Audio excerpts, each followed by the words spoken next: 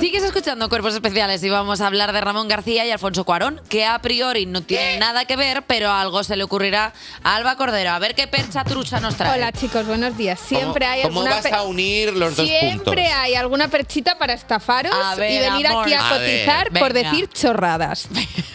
Resulta que hoy, 28 de noviembre, hace 63 años que nacieron Ramón García Hernando en Bilbao Sí. y Alfonso Cuarón Orozco en Ciudad de México. ¿Ramón García es Sagitario?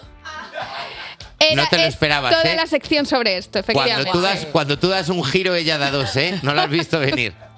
Cum- Y ¿Cumplen Alfon- años hoy? Claro, y Los Alfonso dos. Cuarón también es Sagitario, pero Sí, te los da dos, igual. Eso Ah, da igual.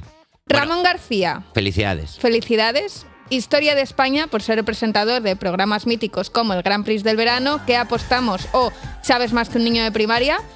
Ahora está en las tardes de la televisión autonómica de Castilla-La Mancha con el programa En Compañía y forma parte de nuestros corazones cada vez que cambiamos de año. Atención porque enseguida va a bajar la bola.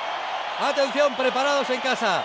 Las uvas preparadas porque estamos a punto de cambiar el año. Yo creo que Ramón no odia la Navidad ya, ¿eh? Espero que no, me pondría muy triste. Es nuestro Grinch ya, ¿eh? ¿Te imaginas? Ojalá disfrazado este año de Grinch dando las campanadas, tío. Solo quiero eso. Ojalá. Luego, Alfonso Cuarón, Historia de México por ser director de películas míticas como Y tu mamá también, Hijos de los Hombres o Gravity. Ganó muchos premios por Roma, entre ellos el primer Oscar a Mejor Dirección a un hispanohablante y forma parte de nuestros corazones por dirigir la mejor película de la saga de Harry Potter, que es El prisionero de Azkaban. Dilo, Los Queen. señores Lunático, Colagusano, Canuto y Cornamenta les presentan el mapa del merodeador. También son un poco tu amigo el pay, el chu y el cabra. Sí, ¿eh? he pensado en lo mismo, el la canuto, misma no referencia. sé El canuto, el cabra. El cabra, el pay. La verdad que sí. Entonces he pensado, ¿cómo hubiese hecho el uno los trabajos del otro? J, ponme mus, imagina con Alba.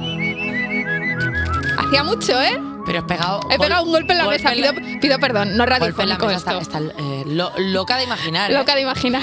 ¿Has imaginado cómo sería Ramón García haciendo las pelis? Voy a ello. Bueno. Alfonso Cuarón, nacido en Ciudad de México, saltó a la fama en su país por presentar el Gran Prix del verano. Esto en, en un mundo paralelo, Vale. donde cada día dos pueblos de México se someterían a varias pruebas divertidas y un poco embarazosas para conseguir el título de mejor pueblo. Lanzamiento de tortilla. Claro, hay troncos locos, hay bolos humanos y hay una prueba en la que hay que acertar una cifra exacta antes de que explote un taco que se va hinchando poco a poco. Qué guay. ¿Vale? El taco caliente. El taco caliente. Por otro lado, México ya no sabe recibir el año nuevo sin que Alfonso de las campanadas Me gusta mucho. Alfonso me gusta mucho.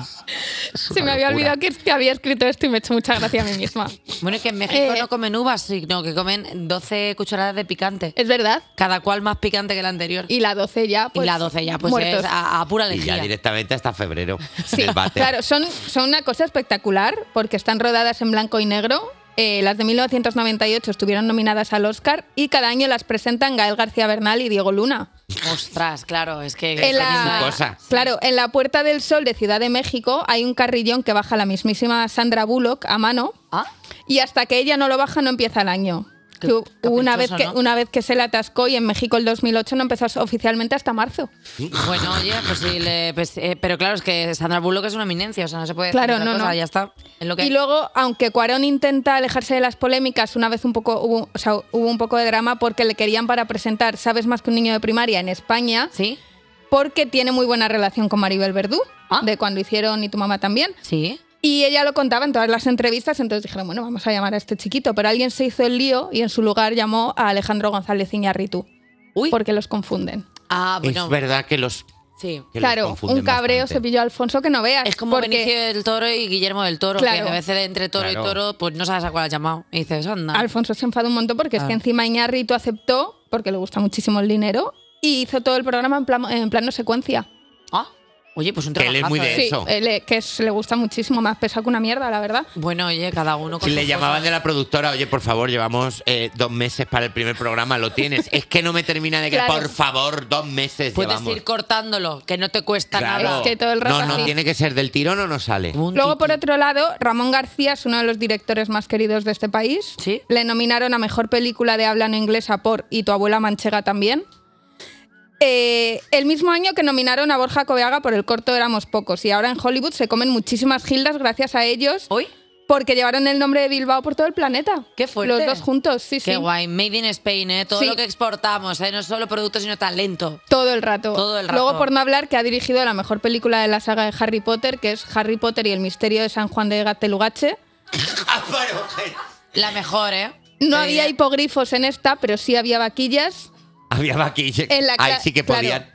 En la clase de pociones enseñaba a hacer el mejor marmitaco y el director del colegio de magia y hechicería era el maestro Leiva, el de la banda de, claro. de que apostamos y el Gran Prix. Bueno, oye, pues, eh, pues ¿Qué os muy parece? bien. Me parece increíble, Es perdóname. bastante, bastante chulo, ¿eh? Yo creo que debería pasar esto en algún momento, pero bueno, Ojalá un universo paralelo en el que pase. yo creo que Debería pasará. pasar, a ver, yo, bueno, igual ahí, si nosotros somos fans de Ramón, los- Ramón está escuchando esto. Bueno, Ramón está escuchando, no, es muy fan del programa, pero quiero decir, si, si yo conozco lo suficiente a los universos de los superhéroes, eh, Nacho, corrígeme si me equivoco, Dime. Hay un universo en el que esto está pasando. Por supuesto. Hay todo, una línea- todo lo que os imaginéis está pasando en Está sitio. pasando en otro lado, por Claro. supuesto que sí. Eh, Alba Cordero, muchísimas gracias por traernos esta, esta sección inventada. O sea, porque Sí, la verdad es que solo- básicamente. Hoy has cobrado por pensar. Bueno, el Pero resto de los días yo vengo a, chu- a la No chufla si pura. A la chufla pura, pero hoy has pensado Sí. cosas tochas. Oye, que gracias, Alba, de estas cosas.